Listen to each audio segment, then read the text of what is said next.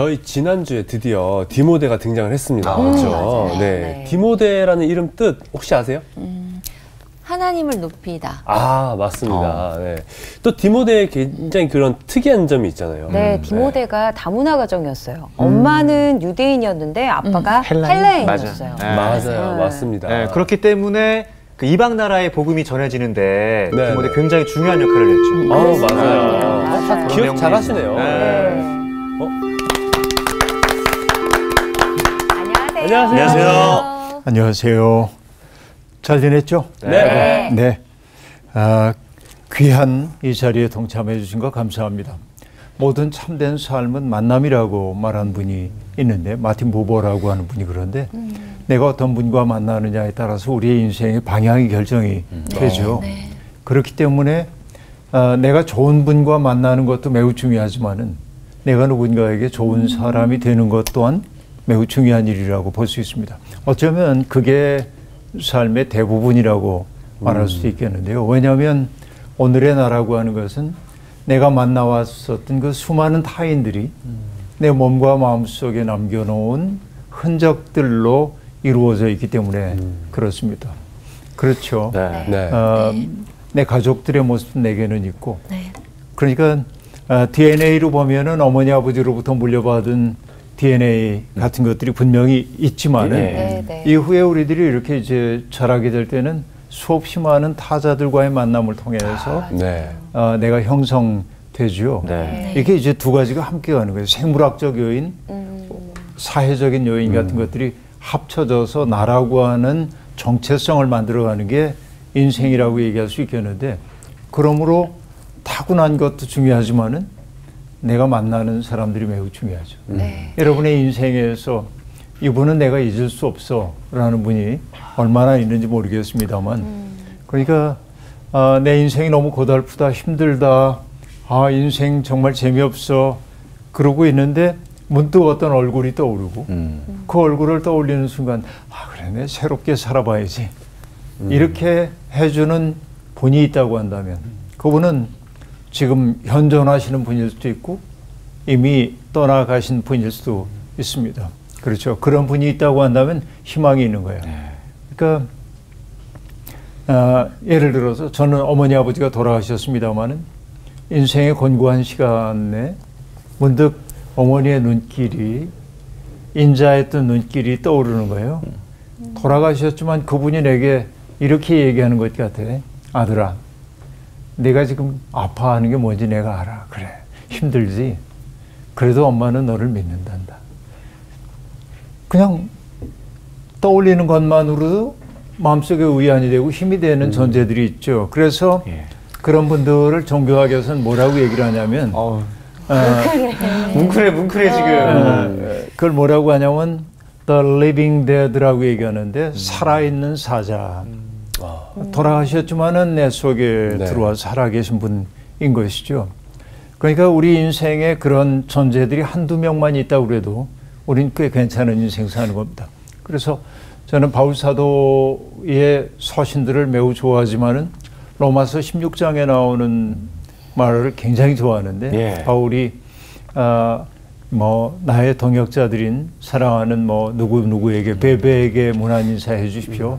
아굴라와 브리스길라. 아, 브리, 브리스길라. 브리스길라 그 부부에게도 인사해 달라고 하고 이제 이런 대목들이 나오는데 바로 그들이 바울이라고 하는 그 존재를 지탱해 주었던 매우 중요한 분들이었죠. 네. 근데 지금 이제 빌립보서에서는 바울 사도가 처해 있는 곤고한 상황 속에서 바울을 정말로 돕고 있었던 두 사람이 있는데 그 하나는 지난 시간에 우리가 디모데. 봤던 디모데이고 오늘 우리가 이제 보려고 하는 것은 이제 누구냐면 에바브로 디도라고 하는 사람입니다.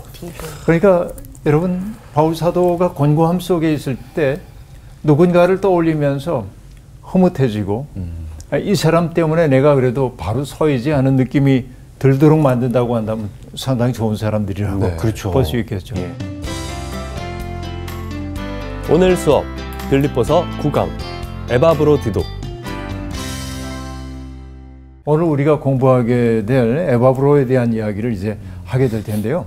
먼저 아, 빌립보서 2장 25절 아, 빌립보서 2장 25절을 먼저 아, 읽고 시작을 할 텐데요. 아, 짧은 구절이지만 함께 읽어 보겠습니다. 네. 시작.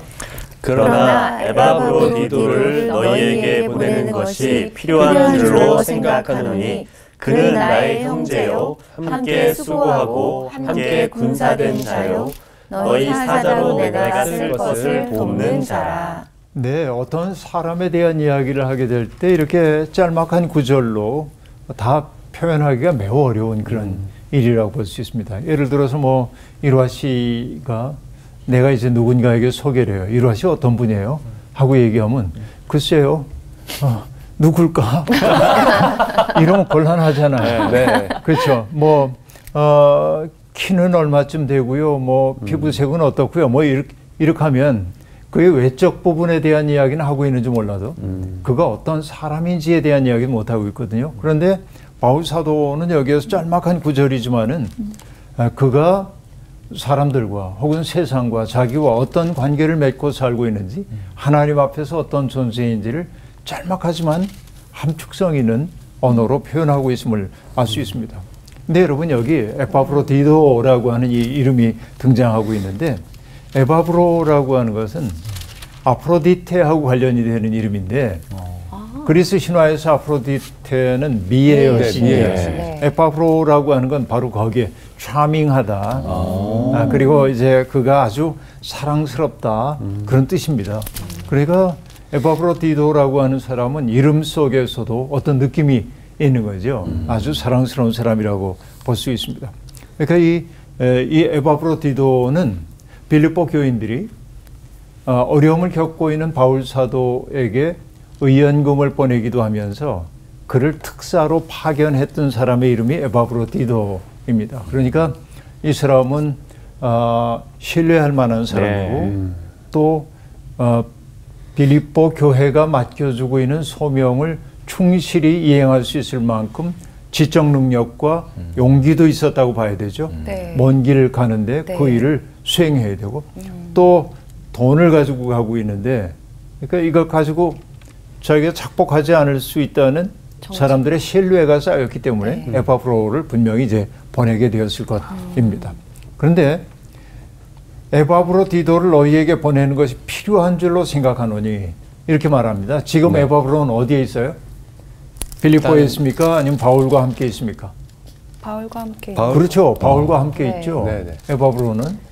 그러니까 바울 사도가 지금 하는 얘기가 에바브로 디도를 당신들에게 돌려보내는 일이 필요하다라고 얘기를 합니다. 네. 여기에서 필요하다 라고 얘기하는데 아난카이오스 헬라어로는 그렇게 얘기하고 있는데 이 말은 그냥 아, 그렇게 했더라면 참 좋았을 텐데 그런 의미가 아니고 아주 강력한 의미입니다. 없어서는 안 될 일, 꼭 해야 할 일이요. 네. 에바브로 디도를 당신들에게 돌려보내는 것은 반드시 해야 할 일이라고 그렇게 얘기를 하고 있습니다. 아, 그 이야기는 뒤에 나와요. 왜 그런지에 대한 이야기는. 그런데 에바브로 디도를 표현하고 있는 다양한 표현들이 등장합니다. 첫째로 바울이 뭐라고 했냐? 그는 나의 형제요. 형제. 네, 이렇게 얘기하고 있어요. 그 다음에 뭐라고 하죠? 함께 수고한 자. 네. 수고. 그 다음에 함께 군사된 자. 내가 쓸 것을 돕는 자. 이렇게 얘기를 하고 있습니다.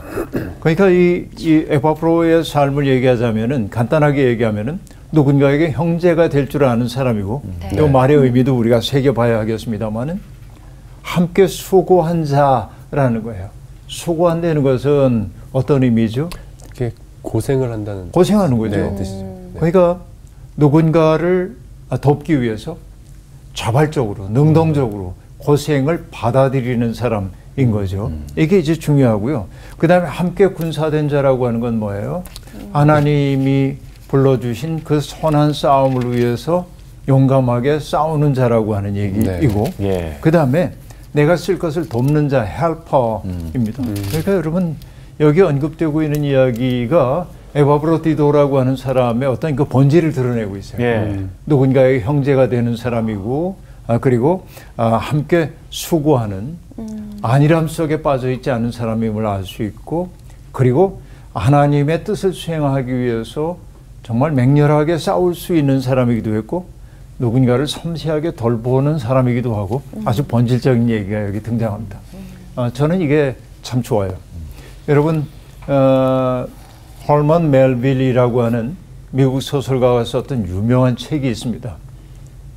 옛날에는 그걸 뭐라고 했냐면 백경이라고 번역을 했는데 백경.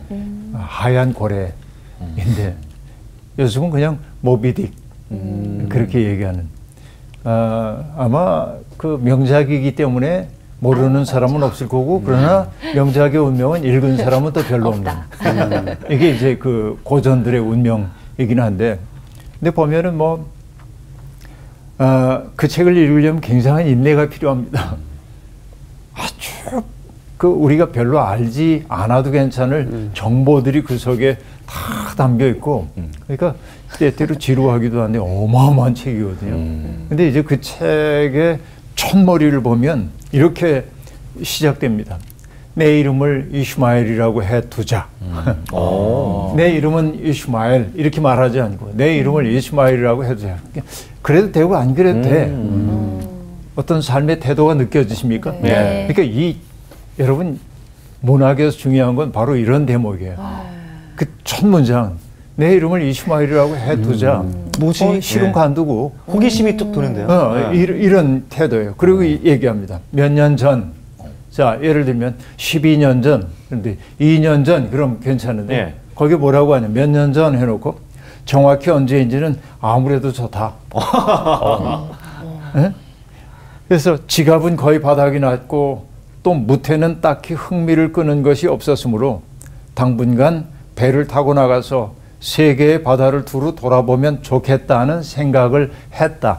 이게 이제 모비딕이라고 하는 소설의 첫 문장입니다. 네. 근데 내 이름을 이스마일이라고 해 두자. 아, 그리고 몇 년 전, 뭐 정확히 언제인지 아무 상관없어. 와. 그 사는 게 지루했다는 거예요. 네. 이렇게 바다에 나가 서 새로운 삶을 시작해 보고 싶었어. 그런데 이 얘기 모비딕 얘기 다 할 수는 없고 왜 거대한 고래와 싸우는 얘기, 사투를 벌이는 얘기인데 사실은 그게 뭐냐면은 아 그 우주에 있는 악의 실체와 싸우고 있는 사람들의 이야기. 악이란 무엇인가? 악과 싸운다는 건 뭔가? 이런 이야기를 형이상학적인 이야기를 소설적으로 형상화해 놓은 게 헐만 멜빌의 모비딕인데 그러니까 예. 정말 중요한 책인데 거기에서 이제 이스마일이 하고 있는 말 가운데 한 대목을 여러분께 인용을 하고 싶어서 이 네. 얘기를 지금 하고 있는데 그는 뭐라고 얘기하냐면 배에 오르면 난 결코 시중받는 손님이나 선장은 되지 않을 것이다. 자, 시중받는 손님은 뭐예요? 내가 값을 지불했기 때문에 비용을 지불했기 때문에 서비스를 받아야 돼. 근데 서비스 받는 사람들은 때때로 만족하지만 대부분은 불만족이죠. 내가 이 정도밖에 대접을 못 받는 거야? 왜 나를 위해 이렇게 안 해주는 거야? 이 불만들이 있잖아요. 이게 이제 손님 태도입니다. 손님 태도. 어, 선장은 어떤 것들이죠? 선장은 내가 여기 제일 높은 사람이야. 내 지시를 따라야 해. 지시하는 사람들이. 네. 그러니까 손님의 태도도 선장의 태도도 이 사람에게 맞지 않아. 아. 그는 뭐라고 얘기하고 있냐면 오직 수고하는 선원으로 남을 것이다. 그렇게 말합니다. 수고한단 말이에요. 일하는 거예요. 네. 여러분 교회라고 하는 곳에도 똑같은 아, 이 논리가 적용이 됩니다. 한 교회 안에서도 어떤 분은 손님처럼 서비스를 받기 위해 늘 존재하는 분들이 있습니다. 어, 서비스가 왜 이 모양이야 교회가 이제 이런 거. 또 어떤 분들은 본인이 선장인 줄 아는 분들이 꽤 많이 있습니다. 네. 근데 좋은 교회는 선원이 되려고 하는 사람들이 있어야 하는 거예요. 저마다 이 자리에서. 어쨌든 인생의 비유이기도 합니다만 우리 공동체의 비유이기도 한데 여기 에바브로 디도를 얘기하고 있는 표현들은 네. 한결같이 그가 뭔가를 향해 움직이는 존재임을 보여주고 있어요. 일하는 사람입니다. 누군가를 복되게 만들려는 사람입니다. 하나님의 대의를 위해 자기를 바칠 줄 아는 사람입니다. 자, 그런데 여러분, 이 정도 얘기를 하고 나면 에바브로가 어떤 사람인 것 같아요? 괜찮은 사람이에요? 안 괜찮은 사람이에요? 매우 괜찮은 사람. 최고죠. 괜찮은 사람. 네. 네. 그렇죠. 이렇게 얘기하고 있는 까닭은 에바브로 디도가 빌립보 교인들에게 뭔가 의구심을 자아내는 존재였기 때문에 그렇습니다. 아. 그러니까 바울 사도가 지금 에바브로 디도를 이렇게 아주 긍정적인 표현으로 얘기하고 있는 까닭은 예. 네. 그런 오해를 불식시키기 위한 표현이기도 했다는 얘기입니다. 자, 조금 따져보면요. 네. 어떤 얘기이냐면, 자, 26절을 보면요. 26절 보면 나오는데, 네. 이 26절, 27절 두 절의 말씀을 함께 읽어보겠습니다. 네. 시작. 그가 너희 무리를 간절히 사모하고 자기가 병든 것을 너희가 들은 줄을 알고 심히 근심한지라 그가 병들어 죽게 되었으나 하나님이 그를 긍휼히 여기셨고 그뿐 아니라 또 나를 긍휼히 여기사 내 근심 위에 근심을 면하게 하셨느니라 네. 에파브로디도가 지금 어떤 상황 속에 있음을 보여주고 있죠? 아팠네요. 아팠어요. 네. 병들었어요. 이게 이제 문제입니다. 에바브로디도는 빌립보 교인들이 바울 사도를 도우라고 보낸 특사입니다. 예. 네. 근데 특사가 그만 병들어서 짐, 짐스럽게 된 거예요. 바울 사도에게 그런 얘기입니다. 그러니까 바울을 도우라고 파견했던 에바브로디도가 오히려 병중에 있으므로 바울의 근심을 더하게 했다. 빌립보 교인들 생각엔 그 사람 왜 그래? 왜 그런 거야? 그냥 왜 그래? 이 정도면 괜찮은 거예요. 근데 그 정도가 아닙니다, 이게. 뭐라고 얘기하냐면 그의 와병 소식이 빌립보 교회에 알려졌다는 사실 때문에 심히 근심한지라 하고 얘기합니다. 자, 에바브로 디도가 깊은 근심에 사로잡히게 되었습니다. 여기에 심히 근심하니라라고 얘기할 때 아데모네오라는 헬라어가 있는데 이것은요 근심을 나타내는 헬라어 가운데 최상 말도 못하게 걱정을 하고 있다는 거예요. 여러분 우리식으로 얘기하면 피 말리는 아. 야, 그렇죠. 네. 어, 애가 바짝바짝 타는 그런 거예요. 그래서 여러분 이 단어가 어디에 사용되고 있냐면은 겟세마네 동산에서 예수님이 기도하실 때 예. 매우 놀라고 괴로워하셨다라고 할 때 쓰인 단어입니다. 그 정도로. 그러니까 에바브로디도가 본인이 아픈 그러니까 여러분 아픈 사람들은 다소 이기적이어도 괜찮아요. 음. 그래야 낫죠. 자기에게 음, 집중하니까. 그런데 아픈데 그친 게 아니라 근심이 그를 온통 사로잡고 있어요. 아이고. 이 빌리포 교인들이 나 때문에 얼마나 속상해할까 하는 이런 것 때문에 그렇다는 얘기입니다. 자, 고대 세계에서 병이라고 하는 것은 특별히 종한 병이라고 하는 것은 종주에 대한 하늘의 벌로 이해가 되었던 겁니다. 예. 네. 우리가 다 아는 얘기죠, 이게. 그러니까 중대한 소명을 띠고 간 에바브로 디도를 질병이 사로잡았다고 하는 것은 그에게 드러나지 않은 감추어진 종죄가 있었을 거다라는 생각이 사람들 속에 암암리에 있단 말이에요. 오늘의 관점에서 보면 어리석죠. 네. 병이라는 게 그렇게 나오는 게 아닌데.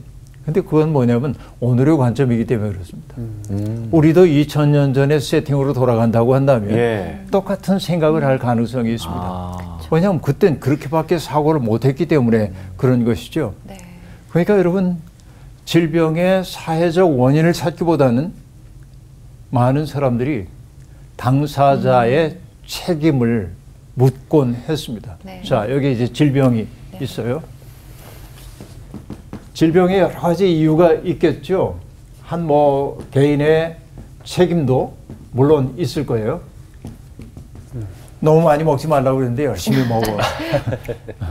배가 이렇게 터질 정도인데 아, 마시는 건 못 멈추지 하고 이제 먹다가 병난 경우도 있잖아요. 이게 네. 개인적 책임이라고 볼 수도 있습니다. 그런데 사회적 환경도 있는 게 분명하죠. 예. 네. 나는 건강하게 살고 싶은데 내가 살고 있는 곳에 공해가 너무 많아. 네. 아이고. 그러면 네. 미세먼지가 너무 많아. 내가 살고 있는 곳에. 이런 것들이 있으면은 네. 면역력이 있고 그런 사람은 잘 견뎌내지만 약한 사람은 이것 때문에 질병에 걸리기도 하잖아요. 그렇죠. 네. 그렇죠. 그러면 사람들이 봐야 되는 건 뭐냐면은 이게 이 질병에 어떤 연관이 있을까 하고 생각을 하면 괜찮은데 네. 설명이 안 돼 이거는. 아. 그때 사람들이 주로 하는 게 뭐냐면 개인의 책임으로 돌리는. 그게 편하니까. 예, 편하니까 쉬우니까. 네. 저 사람이 뭐, 뭐 문제가 많으니까 숨겨진 죄가 있으니까 이렇게 얘기를 한단 말이에요. 그래서 여러분 수전 손택이라고 하는 분은 이런 질병을 뭐라고 했냐면 은유로서의 질병하고 말하는데 네. 간단히 얘기하면 질병이라는 게 그 환자 개인이 가지고 있는 증상이나 통증이 아니라는 거예요. 그러니까 사람들이 해석해 놓은 사회적 기호로 작동한다. 네, 이런 얘기입니다. 그러니까 그 당사자의 나쁜 습성 혹은 의지 박약 이런 게 병을 낳다. 네. 그래서 병든 것 그 자체도 너무 힘든데 그니까요. 사회학적 해석이 가해지니까 와. 그렇죠? 의지가 박약하다든지 생활 습성에 문제가 있든 있다든지 아픈 것도 서러운데. 네. 아유, 진짜. 네. 몰아치네요. 이렇게 해서 결국 뭐냐면 질병에 걸린 사람들을 소외시키는 거예요. 와. 소외. 야, 이게 너무 많은 거예요. 우리 진짜 너무 사회에도. 안타깝네요. 그렇죠. 예. 질병뿐만이 아닙니다. 모든 게 그렇죠. 어떤 사람이 아, 이제 늘 술에 알코올에 의존해요. 그럼 그 사람의 의지의 문제 분명히 있는 게 있습니다. 네. 왜냐하면 괴로운 처지에 있다고 모두 알코올 중독자 되는 건 아니거든요. 네. 예를 들어서 뭐 어떤 범죄자가 얘기합니다. 아, 나도 당신들처럼 좋은 여건 속에 살았다면 난 이 길로 안 빠졌을 거야 하고 얘기를 해요. 그 얘기도 일리가 있습니다. 그러나 동일한 여건 속에 있던 모든 사람들이 범죄자가 된 것은 아닙니다. 음. 개인의 책임도 있는 거예요. 네. 그러나 개인의 책임만으로 하긴 매우 어렵기 때문에 고려를 해야 할 필요가 있죠. 그런데 세상은 끝없이 뭐냐면 알코올에 중독돼 있다든지 뭔가 좋지 않은 습격 속에 있는 사람들의 그 상황을 그 개인만의 책임으로 자꾸 돌리는 경향이 있단 말이죠. 이건 굉장히 폭력적 태도이기도 합니다. 예. 그러니까 어쨌든 그런 얘기 하고 있는데, 그러니까 소명을 띠고 갔던 에바브로디도가 질병에 걸렸다고 하는 것을 사람들은 어떤 코드로 읽냐면은 우리가 몰랐는데 숨겨진 죄 때문에 하나님이 치신 걸 거야 하는 생각을 하는 거예요. 어쩔 수 없이 그런 얘기입니다. 예. 그러니까 에바브로디도가 걱정하는 것은 미성숙한 빌립보의 교인들이 그런 생각에 사로잡힐까 봐. 근데 여러분 바울 사도가 감옥에 갇혀 있는 것을 어, 어떤 사람들은 안타까워했지만 네. 어떤 사람은 아그 밉상스럽던 바울 어? 잘 갇혔네 이랬던 사람도 있었거든요. 그렇죠. 그러니까 바울이 감옥에 갇힌 것을 비방하던 사람들에게 에바브로디도의 질병은 또 하나의 타탈 호재가 되었을 가능성이 있습니다. 그렇죠. 이런 상황입니다. 예. 근데 여러분 우리가 정말 명심해야 될 게 뭐냐면 하나님을 믿는 사람은 병에 안 걸려요? 아유, 아니죠. 걸립니다. 그럴 리가 없죠. 네. 하나님 잘 믿는 사람도 질병에 걸릴 수 있습니다. 그러니까 여러분 어떤 사람은 하나님께 간절히 기도함으로 병이 낫기도 합니다. 네. 그런 치유의 이적이 분명히 있어요. 저는 우리 가족 가운데도 이런 경험을 한 분들이 있기 때문에 치유의 이적이 있다는 사실을 추호도 의심하지 않습니다. 그게 뭐 다반사로 나타나진 않지만 인생의 어떤 순간에 그런 기적들이 나타나거든요. 그런데 여러분 그 기적에만 의지하면 안 되잖아요. 그렇죠. 우리가. 네. 네. 그래서 중요한 건 뭐냐면 기도해도 안 낫는 경우도 있습니다. 분명히. 중요한 게 뭐예요? 내가 어떻게 해볼 수 없는 실존적 한계 상황이 내게 다가왔을 때 하나님 원망하지 않고 그 한계 상황 속에서 오히려 나의 삶에 질적 도약을 이룰 수 있겠는가. 네? 그러니까 그 질병을 나를 하나님께로 안내하는 안내인으로 삼을 수 있겠는가. 이게 중요한 거예요. 이게 요즘 유행하는 말로 얘기하면 예. 꺾이지 않는 마음이에요. 아. 예, 우리를 넘어뜨리려고 하는 수많은 인생의 조건들이 있지만은 그 조건 속에서 꺾여서 하나님 안 계신가 봐. 원망하는 게 아니라 하나님이 나를 다른 길로 인도하시는구나 생각하고 그 더 좋은 길을 택할 줄 아는 거 말이죠. 이게 진정한 믿음이다 하는 얘기입니다. 여러분 13세기에 아프가니스탄의 시인인 잘랄루딘 루미라고 하는 분이 있는데요. 예, 그분이 여인숙이라고 하는 시를 썼습니다. 근데 그분은 이렇게 얘기합니다. 인간이라는 존재는 여인숙과 같다는 거예요. 이게 무슨 은유일까 지금 생각이 되는데요. 매일 아침 새로운 손님이 도착해요. 그 손님이 뭐냐면 기쁨, 절망, 슬픔, 그리고 약간의 순간적인 깨달음. 여러분 이 무, 무슨 네. 얘기인지 알겠죠? 예, 예, 우리 예. 살다 보면 기쁨도 슬픔도 그리고 절망도 찾아와요. 어, 때때로 신통할 만한 깨달음도 내게 찾아올 때가 있습니다. 그러니까 그들은 모두 예기치 않은 방문객처럼 찾아오는 거예요. 그렇죠. 여인숙 손님이 뭐 정해놓고 오는 거 아니잖아요. 네. 예기치 않은 손님처럼 찾아옵니다. 그런데 로미는 말합니다. 그 모든 손님을 환영하려는 거야. 맞아들이래 내 삶으로. 설령 그들이 슬픔의 군중이어서 그대의 집을 난폭하게 쓸어버리고 가구들을 몽땅 내가더라도 그들을 환영하고 맞아들이래. 그들이 그렇게 난폭하다고 해도 각각의 손님들을 존중하라. 그들은 어떤 새로운 기쁨을 주기 위해 그대를 청소하는 것인지도 모르니까. 어두운 생각, 부끄러움, 후회, 그들을 문에서 웃으며 맞으라. 그리고 그들을 집안으로 초대하라. 누가 들어오든 감사하게 여기라. 모든 손님은 저 멀리에서 보내온 안내자들이니까. 이렇게 말합니다. 자, 이게 굉장한 얘기인데, 우리의 삶 속에 예기치 않게 찾아오고 있는 모든 것들은 잘 살펴보면 우리를 더 나은 곳으로 안내하기 위한 안내자로 왔다는 네. 이게 그 룸이라고 하는 시인이 우리에게 주고 있는 인생의 통찰인데 바로 그런 것이죠. 네. 그래서 우리에게 중요한 것은 병이 낫고 안 낫고의 문제가 아니라 병 낫기를 소망하지만 안 낫는다고 그래도 낙심하지 말고 이 질병을 통해 내가 어떻게 더 나은 존재가 될 것인지 어떻게 하나님께로 더 가까이 갈 것인지를 고민하면 되겠다 하는 얘기입니다. 이게 이제 중요하고요. 네. 그리고 여기에 뭐라고 얘기하냐면 그가 너희 무리를 간절히 사모하고 하고 말합니다. 간절히 사모한대. 여러분 네. 간절하다는 말 우리 잘 하잖아요. 네. 간절히 기도합니다. 이런 이런 거. 여러분 이 간절이라고 한 말 속에는요 정말 그 아, 근원적인 정서가 그 속에 담겨 있습니다. 아, 요즘은 이제 그 어, 고난 받는 사람들을 돕는 일에 열심히 하고 있는 분 가운데 한비아라고 하는 분이 계셨습니다. 옛날에 오지 여행가로 맞아요. 많이 알려져 있었는데 이분이 뭐 오지 여행하다가 병이 들었던 모양이에요. 근데 뭐 무슨 약을 먹어도 잘 안 낫고 이제 그렇게 합니다. 탈진 상태였습니다. 그래서 죽을 것 같은 공포가 찾아오는 거예요. 그런데 그 아프리카를 여행 중이던 한국인을 만났어요. 근데 그 한국인이 약을 준 게 아니라 컵라면을 줬어요. 어. 근데 그거 먹고 나왔다는 거 아니에요? 누군가에게 고향이 되어주는 사람이 있단 말이에요.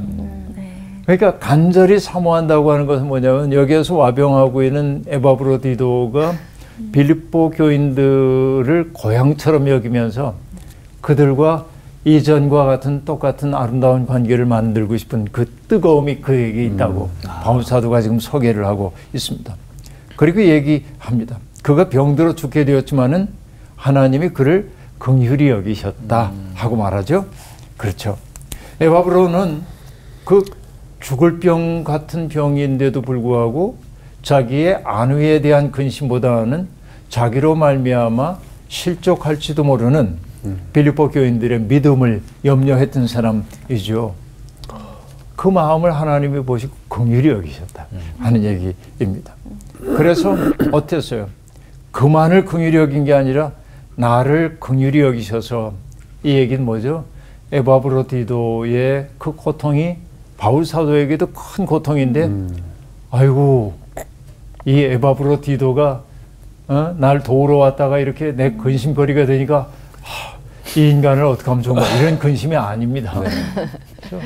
그래서 자신을 돕기 위해 왔다가 이렇게 어려운 처지에 빠졌는데 그 어려움에 집중하지 못하고 나 때문에 내가 걸림돌이 되어 저들의 믿음이 넘어지지 않을까 염려하고 있는 이 에바브로 디도를 보니까 바울 사도의 마음도 무너져.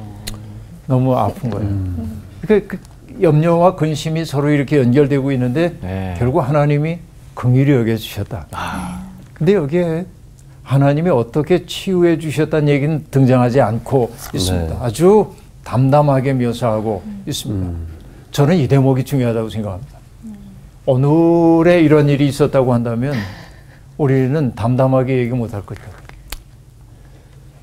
열이 39도, 40도였는데 기도를 하자 열이 떨어져가지고 36.5도가 되고 입맛을 되찾고 뭐 장황하게 얘기하고 할렐루야 뭐 이런 거 할 것 같은데 그 얘기 일체 없습니다.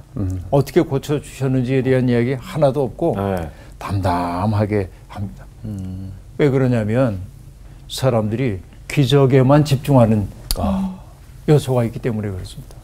그러니까 예수 그리스도가 병든 사람들 고쳐주고 그러면은 그 기적은 결국은 뭐 하자는 얘기냐면 하나님 나라의 통치에 동참하기 위해서 일으키는 기적인데 사람들은 뭘 늘 보고 있냐면 기적 자체만을 바라보고 있단 말이에요. 그래서 예수님은 늘 기적을 짠하고 보여준 게 아니라 기적 행하고 나면 사람들 사이에서 숨어 들어가셨던 까닭이 그런데 있는 것입니다. 근데 여기도 그러니까 바울 사도가 아주 담담하게 우리를 긍휼히 여기셨다고 말할 뿐 바울 이 에바브로디도의 질병이 어땠는지 얼마나 심각했는지 여러분 간증하다 보면 약간 과장도 하거든요. 정말 어, 오늘 내일은 알수 없는 이런 상황이었는데 응? 하나님이 극적으로 개입하셔서 어떻게 낫고 그래서 뭐 사람들이 얼마나 행복해졌는지 그 얘기 다 할 텐데 일체 그 얘기 없어요. 나는 성경에 갖는 아름다움이 바로 여기 있다고 늘 생각을 하는데요. 네. 그래서 어, 저는 얘기합니다. 내가 바라는 것이 다 이루어지는 것만이 응답은 아니다 하는 얘기인데요. 그 다음 얘기 보겠습니다. 28절, 그 다음에 29절을 함께 읽겠습니다. 시작. 그러므로 내가 더욱 급히 그를 보내는 것은 너희로 그를 다시 보고 기뻐하게 하며 내 근심도 덜려 함이니라. 이러므로 너희가 주 안에서 모든 기쁨으로 그를 영접하고 또 이와 같은 자들을 존귀히 여기라. 네. 자, 그러므로 내가 더욱 급히 그를 보낸 것은 너희로 하여금 그를 다시 보고 기뻐하게 하며 내 근심도 덜게 하려 함이라. 에바브로 디도를 빌립보로 돌려보냈어요. 지금 보니까 그죠? 그런데 건강해진 그의 존재가 아, 사람들의 흔들리는 마음을 붙잡아 줄 수 있다고 믿었기 때문에 돌려보냈다고 얘기합니다. 여러분 비온 후에 대지가 굳어진다는 것처럼 네. 어, 우리가 이제 아기들 키우다 보면은 아이들이 아프면은 엄마 아빠는 너무 힘들잖아요. 그래서 아이를 보고 흔히 엄마 아빠가 아기야 내 대신 내가 대신 아프면 얼마나 좋을까. 그렇죠. 대신 아파주고 싶어요. 그러나 여러분 인간은 누구도 어떤 사람의 고통을 대신해 줄 수가 없습니다. 그렇죠. 근데 그리스도께서 우리의 죄를 대신하셨다는 건 정말 신비이고 은총이죠. 근데 고통은 내가 겪어내는 수밖에 없습니다. 아기도 고통을 견디면서 성장하거든요. 그래서 어른들은 늘 얘기합니다. 아니, 애가 아프고 나더니 꾀가 늘었어. 그죠? 아이가 조금씩 달라진다고 얘기를 네. 한단 말이에요. 그런 거 있는 것 같아요.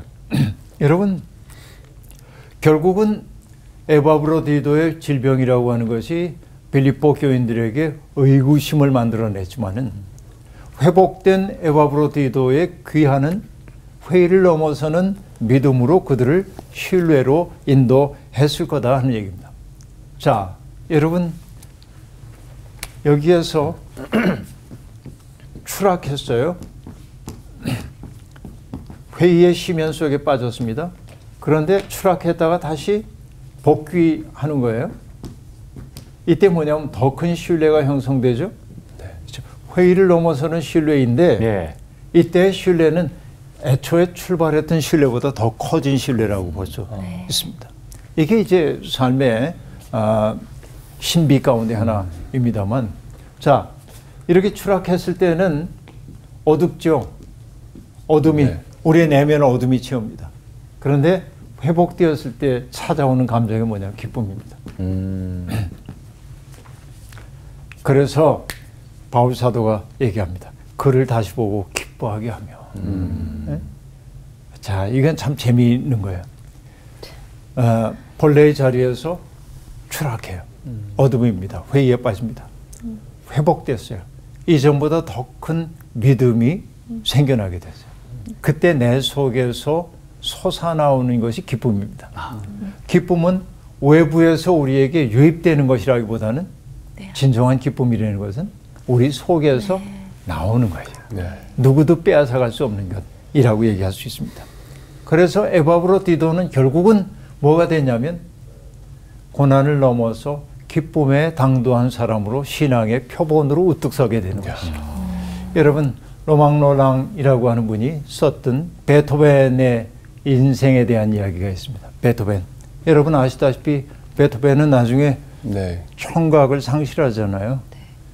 그래서 여러분 어, 베토벤의 그 교향곡 9번 음? 합창이라고 하는 곡, 그 마지막 부분은 여러분 잘 아시는 환희의 송가라는 것이란 말이에요. 정말 아름답죠. 이 환희의 송가가 연주될 때 베토벤은 못 듣잖아요. 청각을 잃어서. 그렇다고 해서 베토벤이 비극적인 존재는 아닙니다. 로망 롤랑은 베토벤의 삶을 얘기할 때 고난을 넘어 기쁨으로 그렇게 말한다고요. 그러니까 그의 삶이 그거예요. 여러분, 우리의 삶에 아름다운 삶의 비결이 있다고 한다면 바로 그런 것입니다. 내가 오늘 고난 속에 있어. 그때 내가 생각해야 될 건 뭐냐면, 아, 이 고난을 통해 난 더 근원적인 기쁨으로 나갈 거야. 이게 우리가 고난을 이겨낼 수 있는 하나의 힘이 되기도 한다 하는 얘기입니다. 그래서 어, 불확실성 속에 있을 때도 우리가 이 불확실성이 끝없이 유지될 거라고 생각하지 않고 하나님께서 아까 잘랄루딘 아, 루미가 우리에게 들려주었던 것처럼 내 인생의 뜻밖에 찾아온 예기치 않았던 손님이지만 이 손님이 안내자가 되어서 나를 더 좋은 길로 인도할 거야. 이렇게 보게 될 때 우리는 기쁨을 얻게 되죠. 기쁨은 속에서 솟아나온 거다 하는 얘기입니다. 그래서 얘기합니다. 너희가 주 안에서 모든 기쁨으로 그를 영접하고 또 이와 같은 자들을 존귀히 여기라 하고 말합니다. 자, 이제는 에바브로디도에 대한 모든 의구심 지우고 정말 그를 사, 사랑하고 환대함을 통해서 나의 기쁨과 에바브로의 기쁨이 더 점점 커져서 그대들의 기쁨이 되게 하라라고 얘기하고 있습니다. 그러니까 이렇게 어려움을 넘어서는 존재들이 있을 때 그런 이들을 존귀히 여기는 마음이 그대들에게 일어나기를 바란다 하고 말합니다. 마지막 구절 볼까요? 30절 함께 읽겠습니다. 시작. 그가 그리스도의 일을 위하여 죽기에 이르러도 자기 목숨을 돌보지 아니한 것은 나를 섬기는 너희의 일에 부족함을 채우려 함이니라. 네, 그는 목숨을 돌보지 않는 사람이었습니다. 그리스도의 일을 위하여 스스로 위험 속에 들어가는 것을 꺼리지 않는 사람이었습니다. 죽음의 위협이 다가왔을 때도 흔들리지 않는 사람이었습니다. 그리고 바울 사도가 얘기합니다. 나를 섬기는 너희의 일 하고 말하는데 여기에 섬기다라고 하는 단어는 라이투르기아라고 한 말인데 이건 뭐냐? 시민이 공무를 수행하기 위해서 자기의 비용을 들여서 하는 일을 뜻하는 단어이기도 합니다. 군사적 의무를 뜻하기도 합니다. 그런데 이 단어는 성경 속에서는 다른 의미를 쓰입니다. 제사나 예배 등 제사장의 직무와 관련된 일을 뜻하기도 하고요. 또 일반 사회로 얘기하자면 공핍한 사람을 돕기 위한 선물 그런 뜻도 있는데 그러니까 빌립보 교인들이 바울 사도에게 했던 일이 바로 그런 일이고 어려움 속에 있었던 바울 사도를 돕기 위해 그들은 헌신했고 그런데 그 행위는 마치 하나님 앞에 바치는 제사와 같은 의미도 갖기 때문에 이 단어를 굳이 사용하고 있다는 말이죠. 그래서 에바브로디도의 귀환을 기뻐하고 환대할 때 결국 교회는 든든히 설 것임을 말하고 있습니다. 이쯤 되면 여러분 바울 사도가 에바브로디도를 얼마나 아끼는지를 알 수 있죠. 네. 누군가의 아낌을 받는다는 거 이것처럼 아름다운 일이 또 있을까요? 그런데 나도 아낌을 받아야 하지만은 나 또한 누군가를 바울 사도처럼 아낄 수 있다면 얼마나 좋을까 생각해 봅니다. 오늘 수업 마칠게요. 고맙습니다. 감사합니다. 아. 진짜 진정한 기쁨은 내 속에서 나온다는 말씀 맞아요. 들었을 때 아, 진짜 어. 너무 너무 이해가 되고 맞아요. 왜 우리 아플 때 제일 많이 하는 말 있잖아요. 내가 아픈 아픈 사람한테 이럴 수 있어? 뭐 이런 얘기를 되게 많이 하잖아요. 근데 아픔에도 다른 사람을 걱정하는 저 하, 오늘 누구였죠? 이름이 너무 에바 길어가지고 브- 에바 네. 브디도. 아, 네, 에바 많이 브디도. 본받아야 될 것 같습니다. 아, 네, 얼마나 좋은 사람이었으면 그렇게 사랑을 받았을까라는 생각도 하게 되고 우리가 서로에게 좋은 사람이 또 되면 대주면 되지 또. 네. 네. 사랑 또 얼마나 아름다운 사람이었을까 그런 생각도 들어요. 그러니까. 에바 아, 브로가. 그러니까. 바울이 이 정도까지 칭찬하고 네. 인정하는 사람이었습니다. 음. 너무 좋습니다. 아, 우리도 그런 사람 돼요. 그러니까. 네, 아, 좋습니다. 너무 멋있다. 감동이야. 되고 싶어요 그런 사람. 모두가 너무 아름답습니다.